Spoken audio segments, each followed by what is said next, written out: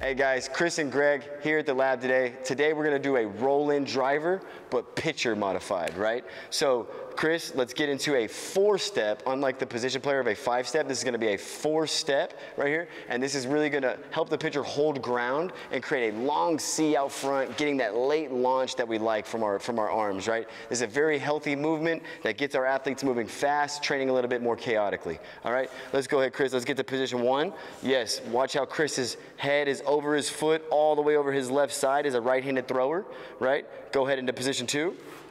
Yes, we're gonna get really, really high, get that audible feedback again, that feel of the beads in the hand again. Hand across, right, stand connected. Go ahead, Chris.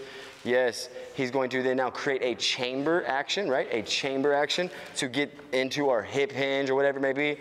Now, Chris is balancing for me, but we will obviously be moving fast. So go ahead and go to the next position, Chris.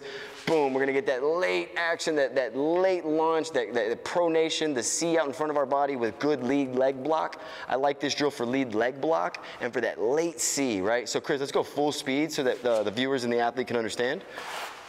Boom, right, yes. And now let's hold that as we move fast, Chris. Give me about three of them. Boom, boom, hold, boom. Yes, yes, yes. Chris, hold it for me as we move a little longer right there. Give me two more. Great.